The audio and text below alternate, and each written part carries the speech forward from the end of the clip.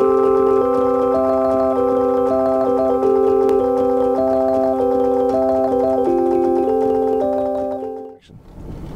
right, what do I need at the store again?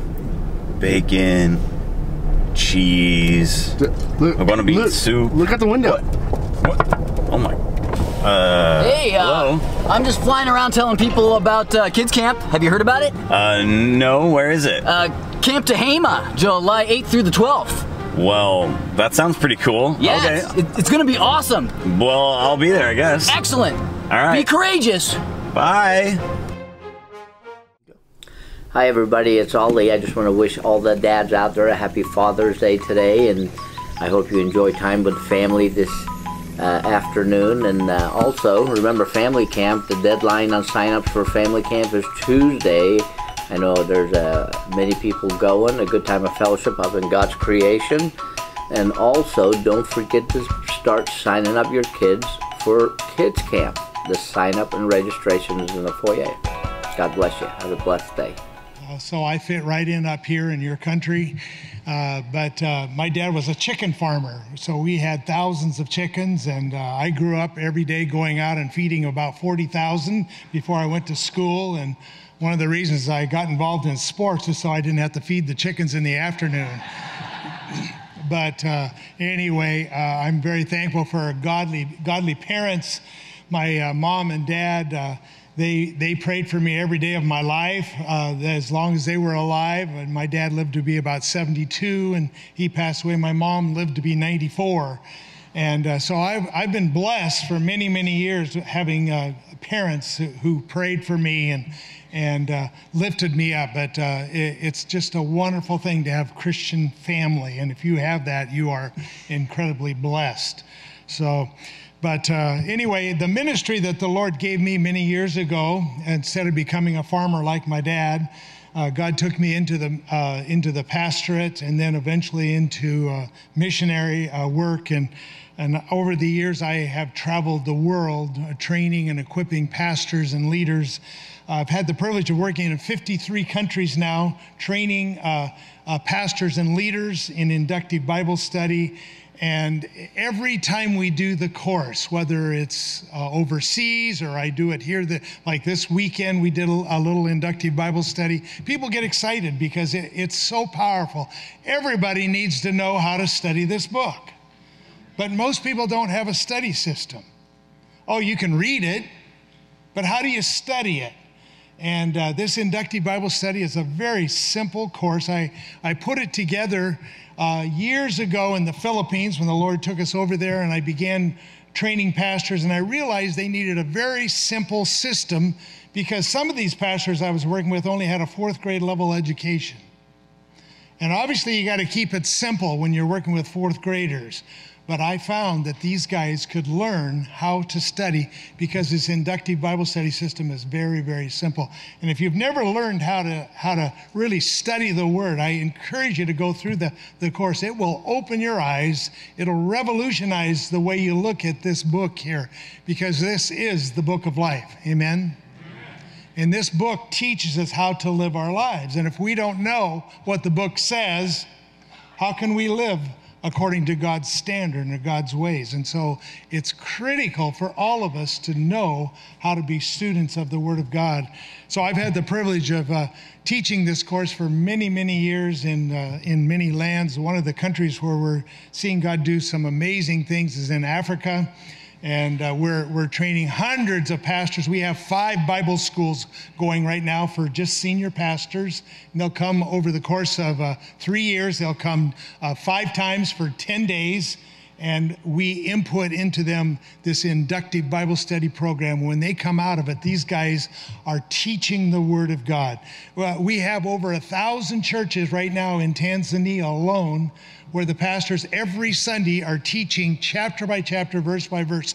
And that's unheard of in Africa because most of them are into the prosperity doctrine and all they're teaching is about you know how you need to give and uh, and how the pastor needs to take from you and uh, it's it's pretty pretty pathetic but you see these churches have learned how to get into the word of god So it's it's exciting. Uh, one of the exciting places the Lord has taken me into the Middle East, and I've had opportunities to work uh, with a, a, lot of pastors in the Middle East there, and training and equipping. And and uh, uh do you understand that there is there is really a uh, just a, a revival going on in the Muslim world today?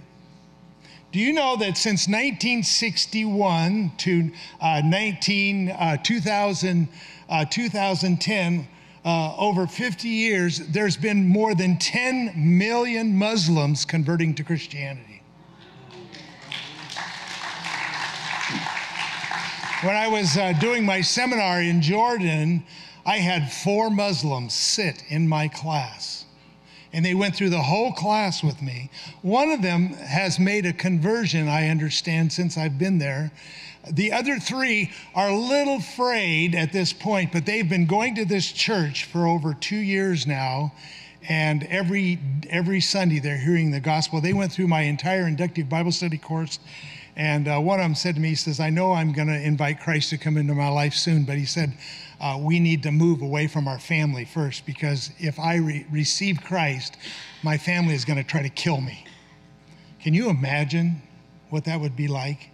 And that's what many of the Muslims are facing today is, is uh, death because they're following Jesus. And so, anyway, it's, it's not easy to follow Jesus in some countries. We are so blessed here to have the freedoms that we do today. But uh, anyway, uh, pray for us as we train and equip. You know, I was just over in Liberia two weeks ago and had a tremendous time with about 75 pastors, training them. And, and, at the end of the seminar, they were so thankful. And, and some of them came up to me and said, You know, nobody has ever taught us how to study the Bible. And nobody has ever taught us how we can teach our people the Word of God. And they were so grateful. So, anyway, I want to say a big thank you to you guys because your church has supported our ministry for many years. And uh, it's been a, a, real blessing to team up with you and so many other Calvary chapels that have been a part of uh, our ministry and training and equipping pastors over the years. It's been a, a thrill to to uh, serve Jesus in, in, this way. So, anyway, thank you guys so much for standing with us. Well, this morning I want you to take your Bibles and I'm going to do what I love to do, and that's I love to teach the Word. And if you'll take your Bible and turn to the book of First Peter, and uh, we're going to look into uh, 1 Peter chapter 3. And uh, we're going to look at a text that speaks to an issue that really we're facing today. Because in that day, when Peter wrote this epistle, the church was, was under persecution uh, Nero had burned over half of Rome and he blamed the Christians. And so there became great hostility towards the, the church. And, and many Christians were being uh, persecuted and put to death. And, and when you go through these times of persecution as a, as a Christian, you, you have a, a two ways to go. One, you can get very bitter you can be very resentful. Or you can trust the Lord and know that God is in control in spite of what is happening to you. And you can rejoice no matter what you're going through. And, so that's, uh, that's what Peter is writing about. You know, uh, you know, don't become bitter. Don't, don't, don't become angry with God because you're having to go through these really hard times. And through the history of the church, the church has been persecuted uh, Christians have been killed and put to death. It's nothing new. And, and so uh, today I wanted to talk to you about uh, the, the subject of living in a hostile world. Have you noticed how hostile our world's become lately? All you got to look is at the news, and uh, we have such a love going on between our Congress and our president, and uh, uh, just, you know, just so many crazy things going on in our world today and the world has become extremely hostile, and especially towards the gospel. We're seeing this hostility. Why is that? Well, it's because we're living in the last days, folks. And we know that the Bible has told us that in the last days, the enemy is going to pour out his wrath upon this world. And we're certainly seeing that today as the enemy knows his time is short and Jesus is coming back soon.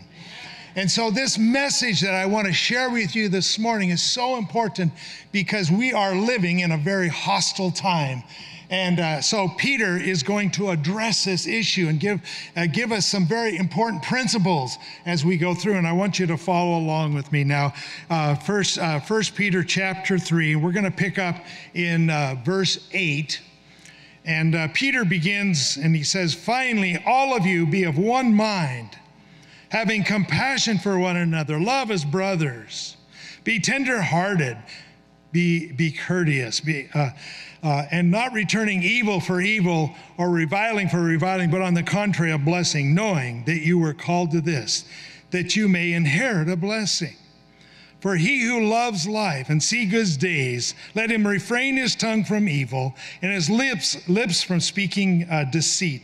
Let him turn away from evil and do good. Let him seek peace and pursue it. For the eyes of the Lord are upon the righteous, and his ears are open to their prayers. But the face of the Lord against, is against those who do evil. Would you join me in a word of prayer? Father, as we uh, divide your word this morning, uh, we again recognize the importance of your Holy Spirit coming and teaching us.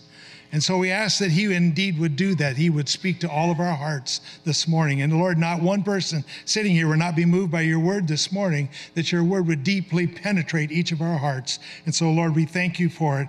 And we thank you for this time in Jesus' name. And everybody said, Amen. Amen. Well, Peter begins with the word finally. And uh, those of you who studied epistles with me, you know that's a transition word. And usually, when you hear the word finally, you know the pastor's going to end his message. Uh, but uh, Peter doesn't end there. He goes on for two more chapters before he, he concludes his message. But he says, All of you be of one mind, having compassion for one another, love as brothers, be tenderhearted, be courteous or humble. And so Peter begins uh, in this little section here as he's starting to wrap it up.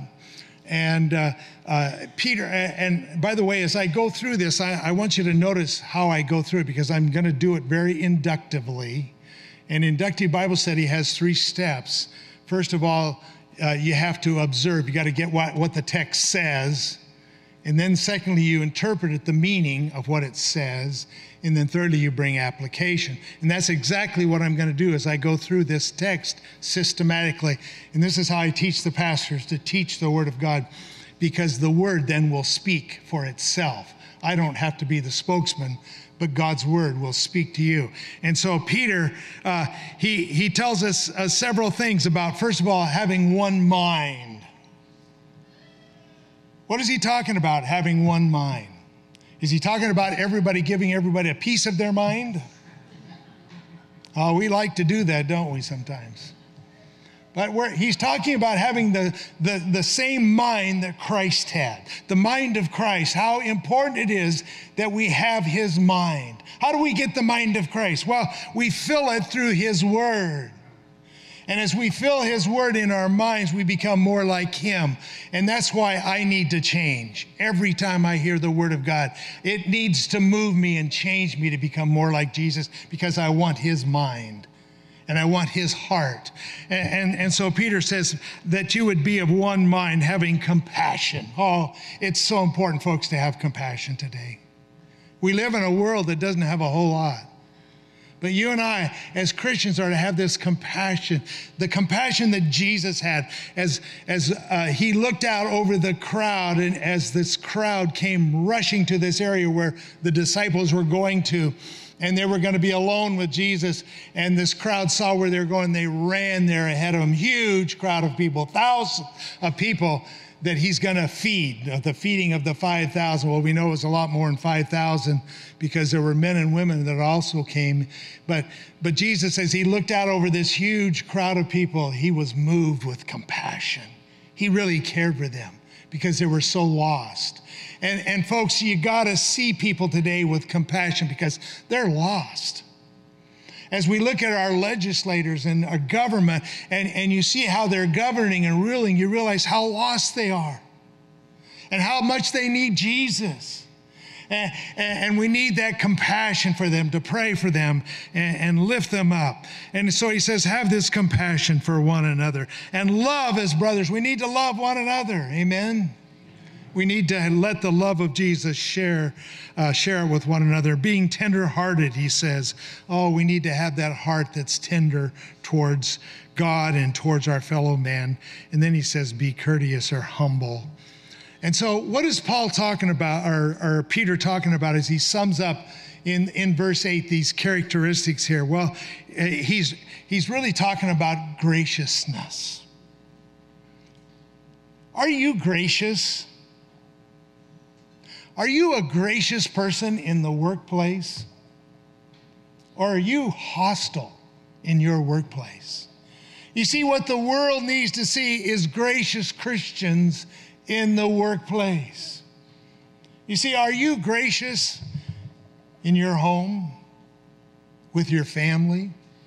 Why is it that some of the people that we are the closest to, we can sometimes be the most hostile to? You know, uh, I, um, my, I've had a dear wife that we've we've lived together now for 48 years, and uh, and God has blessed our marriage with uh, four children, and uh, we have uh, 10 grandchildren, and I just had my first great grandchild. And we got our second great grandchild on the way, you know, and this pretty, pretty exciting. You know, God has really blessed our family. But, but you know, uh, my wife and I, in these 48 years, you know, we, we haven't always gotten along. I, I, I know you're surprised, you know.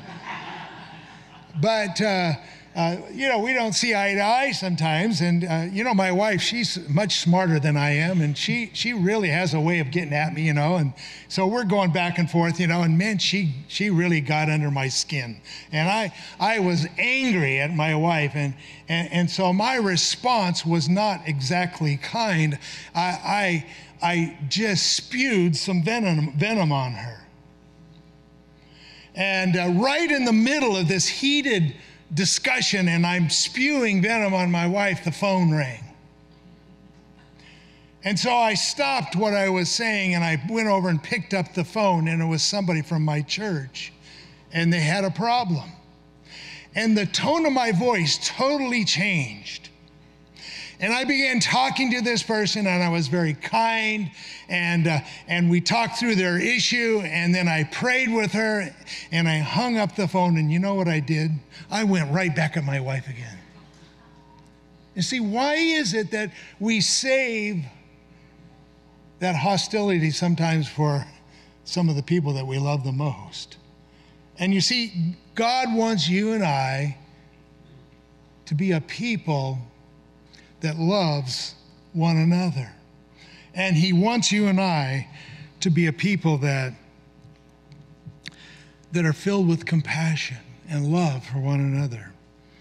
And so we must be gracious. And that's our first characteristic.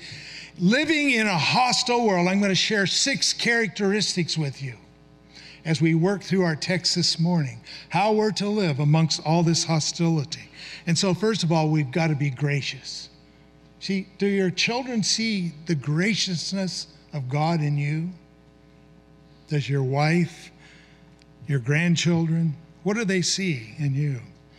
And then he says in verse 9, he says, Not revi- uh, returning evil for evil or for reviling for reviling, but on the contrary, a blessing, knowing that you were called to this, that you may inherit a blessing. So, what is Peter talking about here? Well, he's saying you need to be forgiving, and that's our second characteristic. You and I have to be willing to forgive when people come at us and say things to us and, and cause us to allow anger to come in our own hearts. And instead of returning evil for evil, we're to forgive. Uh, when we, uh, my wife and I moved to the Philippines, uh, we had a very amazing experience where um, uh, we ended up taking a little Filipino baby into our home that was abandoned, left for dead. And uh, this little guy, uh, I was actually driving on the road one day, and going to visit a pastor, and I noticed this lady beside the road. And she was holding a little baby in her arms, and I didn't think much about it. She was really upset, but I didn't think, you know, babies upset any woman. And uh, so, you know, I, I continued on down the road, and about an hour later, I'm coming back after I visited this pastor, and this woman's still standing in the road with this little baby. And uh, she was crying, and so I, I just pulled over. And I could tell she hadn't got a ride into town, and so I said, Do you need a ride? And she said, Yes. And she gets in the car. She begins to tell me this story of this little baby that the mother died in childbirth, and and the father was a blind beggar, and and uh, the only one that was left to take care of this baby was an 80 year old grandmother, and she couldn't take care of him, and the baby was dying. And this woman happened to be wandering by, and this grandmother begged her to take the baby out of her house so it wouldn't die in her home.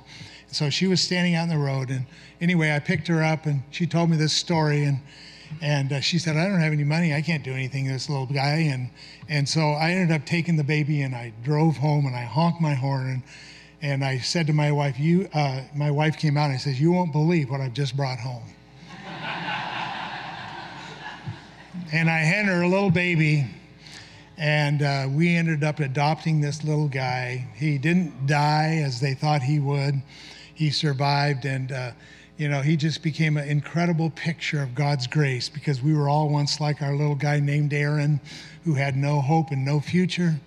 And that day, the Lord brought me along the road to pick him up. And so this little guy became our fourth child. We came to the Philippines with three. We weren't planning on any more kids, but we inherited one more. And this little guy became very special to us. He became our fourth child. But shortly after we adopted Aaron, uh, there was a lady in the Philippines, for some reason, didn't like me. And she was going around and saying, you know, the Finfrocks adopted that little boy because they're using his picture in America to raise money. And so I heard of this, and as, as, I was, I would get around and speak in a lot of different churches, and, and, and almost every church I was going to, this woman had been there, and she had already told them about me and what we were doing with our son. And every time I heard that story, I burned with anger. And, and I wanted so much to get even with this lady. I, I, I, didn't know who she was, and, and I wanted to find her, you know, and I wanted to put my hands around her neck and kind of squeeze a little bit, you know, and shake it a little bit. And that was my flesh wanting to get even because she was hurting our ministry. She was saying evil things about me. And I'll never forget, after somebody had shared that with me uh, at a church that I was speaking at, and I remember the anger just burning inside of me, and the Lord spoke to me and said, You need to forgive her. You need to let it go. And I tell you, that was so hard because my flesh wanted to get even. But I knew I needed to forgive her, and I did. And the Lord spoke to me and said, I'll take care of her. You don't worry about her. You just deal with yourself. And I, so I did. We forgave her. And, you know, later on it just totally dissipated. But it, I, I, just remember the pain uh, of going through that where people would, be, somebody was accusing me of something that I hadn't done. And, and so he says we've got to be forgiving. And so first uh, we've, we've got to be gracious. Secondly, we've got to be forgiving. And then look thirdly, at this quote that comes from the book of Psalms, chapter 14. He says, For he, who would love life and see good days, let him refrain his tongue from evil and his lips from speaking deceit. Let him turn away from evil and do good. Let him seek peace and pursue it. For the eyes of the Lord are upon the righteous, and his ears are open to their prayers, but the face of the Lord is against those who do evil. And so Peter is quoting from the Psalms and, and he first says, if you love life and you want to see good days, he says, you've got to control this thing in your mouth, this tongue. Oh, this tongue. You know, if you just turn with me, just turn back a couple pages in your Bible to the book of James. All right. And uh, James has some rather harsh words regarding the tongue. James chapter 3 verse 5, and then down to verse 8.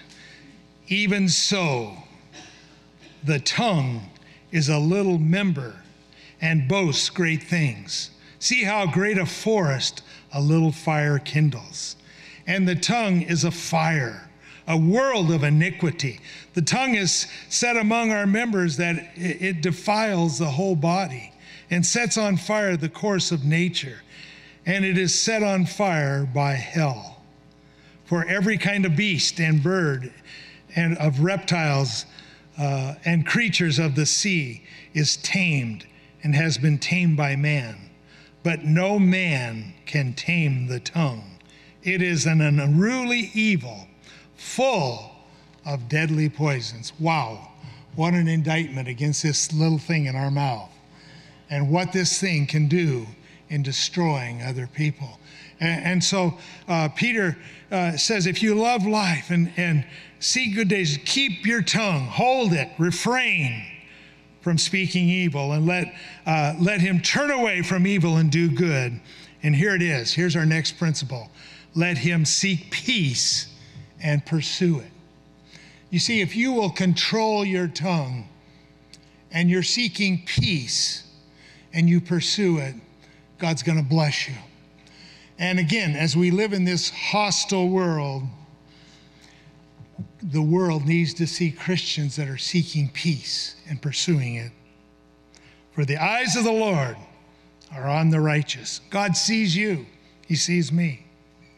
And His ears are open to their prayers. Aren't you thankful that He hears your prayers as we cry out to Him in the midst of difficulty? But His face but the face of the Lord is against those who do evil. You see, God's going to deal with those who do evil. He, he knows. And you see, He doesn't need you to deal with them, He will take care of them. You seek peace, you pursue it, and let God take care of the evil that is around you. Every man is going to answer to God for how they've dealt with other people and how they've lived their life before God. And then Peter goes on and he says, And he who, uh, and, and who is he who will harm you if you become followers of what is good? Now, nobody's usually going to hurt you if you're a follower of good, but he says, But even if you should suffer for righteousness' sake, you are blessed and do not be afraid of their threats, nor be troubled. And so, uh, what I want you to see as our next characteristic, our fourth characteristic, is that we are, are, are to be courageous. We're to live this life with courage. We're not to live in fear. You know, fear cripples us. The enemy loves to give us that spirit of fear to keep us from doing what God has called us to do. And, and so we know that, that, that you and I must live courageously in this world. Uh, I, I'll, I'll, never forget a trip I was taking uh, uh, where I was actually driving up to from Southern California and Northern California. I was driving up towards uh, along the coast, and and uh, I was going to speak at a conference. And as I was driving along this road, uh, yeah, I, I, saw in the distance this guy standing out there like this. And uh, so as I got a little bit closer, I, I, I, saw that he had this black jacket on. He had chains all over it. He had a big beard and he had long hair.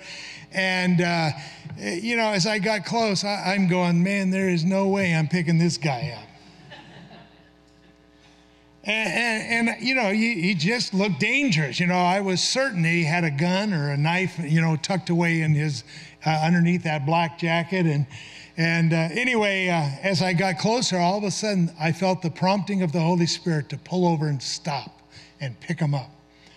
And I want to tell you something my knuckles on my fingers turn white as I'm thinking about picking this guy up. And I tell you what, I was really afraid. And you know what? I got up to him and I just kept going. I disobeyed the Holy Spirit. And for the next mile, the Holy Spirit was pounding me, saying, You disobeyed me. And so finally, I pulled over and I turned around and I slowly went back down the road, all the way back down. I'm going, Please, somebody pick that guy up. And sure enough, he's still standing there like this, you know. And so I pulled up and I turned around and I came alongside him and he got in my car. And I want to tell you, this guy stunk. And then as we're driving, you know, he, he pulled out a weed. He started smoking marijuana in my car. And I thought, great, he's going to get high and he's going to kill me. And I tell you, I really fear gripped me. And as I'm doing this with my white knuckles on the steering wheel, I heard a little voice say, I want you to share him, share with him, uh, share about me with him, would you? And so, slowly but surely, I began a conversation with this guy, and we started talking. And, and I started to share Christ with him. And the more I shared Christ with him, the more interested he became. And, uh, you know, I, uh, I, I at, a certain point, I, I, I, just glanced over him. I could just see a little tear coming down his cheek. And, and I, I said, Would you like to pray to receive Jesus? And he goes, I really would. And as we're driving, I led him in the sinner's prayer. And that day, he had a divine appointment with Jesus. He invited Christ to come into his life. And you see, that day, the Holy Spirit was prompting me to stop and pick him up, and I didn't want to do it because I was afraid. But God had a divine appointment with that man that day, and he wanted me to use me, and I didn't want to be used. And how many times we miss opportunities because we let fear control what we're doing. Now, after a while, I let the guy off. I have no clue you know, who that guy was. I never saw him again or met him again. I don't know who it was. It could have been Pastor Dell. I don't know. uh, but God knows. and you see, He wants to use our lives, folks. And so we're to live courageously. Well, Peter goes on. And he said, But sanctify, verse 15, the Lord God in your hearts, always being ready to give a defense to everyone who asks a reason for the hope that is in you with meekness and fear.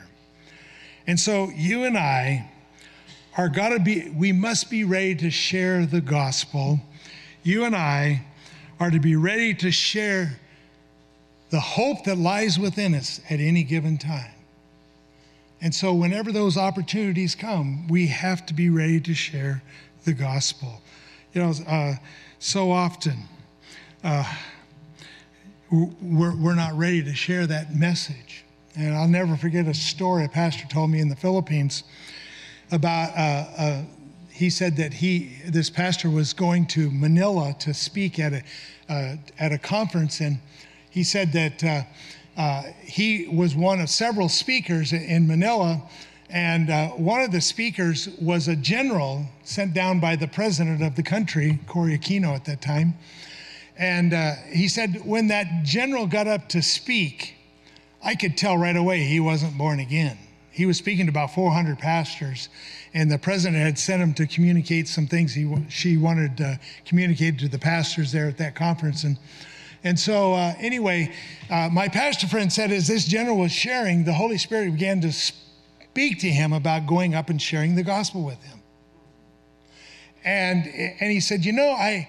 Uh, uh, uh immediately I heard this little voice that's saying, Who do you think you are? He's really an important man.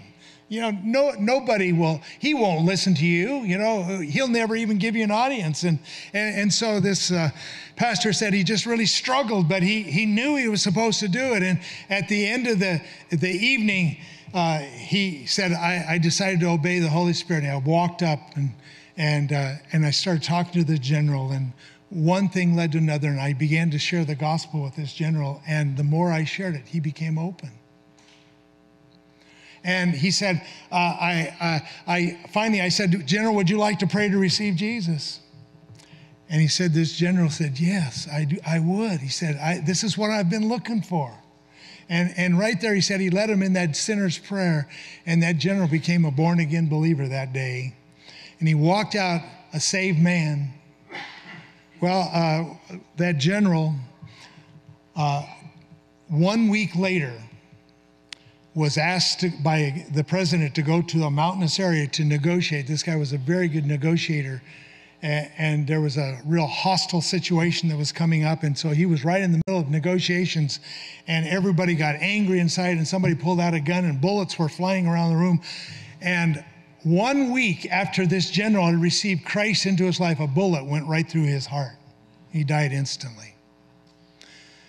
And, and, and, I thought, what would have happened if my pastor friend had been disobedient to the promptings of the Holy Spirit? You see, this man would have gone to eternity without Christ. And do you understand how important it is that we obey the Holy Spirit when He prompts us? That we have to be ready to share the hope that lies within us because we never know when it's going to be somebody's last opportunity. And so you and I must be ready. And then, uh, lastly, uh, I want you to notice what he says in verse 16 and 17 having a good conscience. That when they defame you as evildoers, those who revile your good conduct in Christ may be ashamed. For it is better if it's the will of God to suffer for doing good than for doing evil. You know, if, if, if you do evil, you deserve punishment. But if you suffer for doing the good thing, that's, that's okay. But, but he says you've got to have a good conscience. And folks, it's so critical for you and I to deal with that conscience that's inside of us. Because when we do what's wrong, you know immediately what speaks to you. You know when you've done something wrong because your, your conscience will speak to you. And when my conscience speaks to me, I know I've got to deal with it. And, and you see, when, when, when I was accused by that woman in the Philippines of using this boy to raise money, my conscience was clear because I knew I hadn't done anything wrong. And you see, when our conscience is clear, it frees us to minister. And you see, you must minister with a clear conscience. And if your conscience isn't clear, it's going to hinder what God wants to do in and through your life. And do you understand? We must live every day. We have to deal with that conscience because God wants to use you. And if your conscience is not clear, it's going to hinder the work of God. And so, uh, Peter gives us six very important characteristics of a believer. First of all, in verse 8, we're to be gracious. Secondly, in verse 9, we're to be forgiving. Thirdly, in verse 11, we're to seek peace and pursue it. And fourthly, we're to live courageously in verse 14. Verse 15 tells us then we must be ready to share the hope of what lies within us, the gospel, the good news. And then lastly, we have to have a clear conscience. And folks, we need to follow Jesus. The world is looking to see Christians that live differently from the rest of the world. And what does the world see when you go to work tomorrow? Are they going to see Jesus? Are they going to see more of the world in and through your life? And you see, our lives are open book, the Apostle Paul tells us, being read by all men. And, and, and what are they seeing? What kind of a gospel are they seeing in you? Are they seeing the hope of Jesus? Or are they seeing more of the world? So I want to challenge you today that your lives would be those that would be used mightily by Jesus Christ in these last days. I don't have to tell anybody here that we are living in the very last of the last days. And this world is not going to get any better. It's going to get worse and worse until Jesus comes and restores order. And I'm looking forward to that day so much when I'm going to be able to see Jesus and I'm going to be again together with my family, my loved ones, my father, my mom, one of my youngest sons who passed away. You know, I, am so looking forward to being with Jesus someday and uh, rejoicing and being in his presence forever, living with him. Amen. Amen. Let's pray. Father, we thank you for your word this morning and for its reminder of how we're to live in this world. Lord, we thank you that we uh, you've you've given us clear instruction how we're to live our lives. And Lord, I just I just pray for each and every one here, Lord. You know what everyone here is going through. There's every one of us, Lord. You you know intimately that you, there's nothing that we can hide from you. And Lord, you know what everyone here is going through in their lives, even at this very moment. Maybe some are going through some really hostile situations. Lord, we just pray that you would help our brothers and sisters that as they go through this, they will trust you, that Christ will be seen in and through their lives. Lord, uh, Lord, we know that uh, uh, we, we can't pray to get out of this situation, but Lord, we ask that you would help us to go through it. Give us the boldness, give us the strength to go through these trials and difficulties and hardships that we go through in our lives. And so, Lord, I just pray for your touch upon your people and that you would strengthen them, Lord. And if there's any uh, special needs today, Lord, Lord, would they not leave until they've prayed with a brother or sister? And, and, and, and Lord, we just believe that you're going to bring deliverance even this very day, this hour, because you're a God who hears and answers prayer. So, Lord, bless the church here. Lord, use them mightily in these days now. And so we just commit this time to you in Jesus' precious name. And everybody said, Amen. God bless you all.